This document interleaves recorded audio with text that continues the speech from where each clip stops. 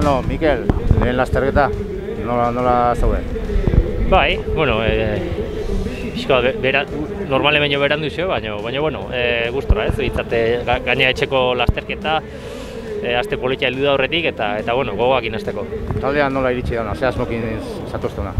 Bueno, honea, ba, ba bueno, talde e, txikixoakin heldu ga, e, jende gaztekin, eta, eta bueno, e, de, denantzat da e, aukera emateko ez, e, aber, lasterketa nola din, eta, eta bueno, e, ikusiko da. Hanketan kilometro gutxi eramango dituzu, baina, bueno, nola zaude?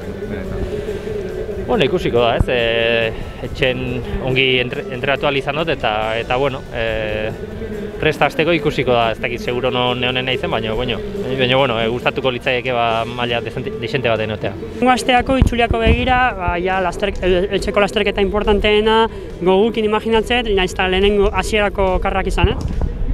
Bai, dudik gabe, ez? E, e, etxeko lasterketak beti bere, berezia eta eta bueno, gogoakin hasteko eta eta ber zemuz moldatzen gan.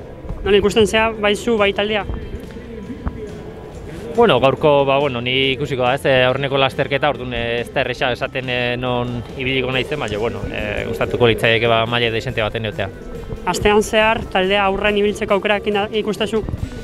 Itzulira bide, ba, ba bueno, e, e, Esteban egia esan e, Katalunian oso, oso ongi ikusi zen, eta, eta bueno, aber berakin, ba, ba horra aurren egotea e, lortzen dut. Eta nagusirako gogukin, eta lehiatzeko gogukin.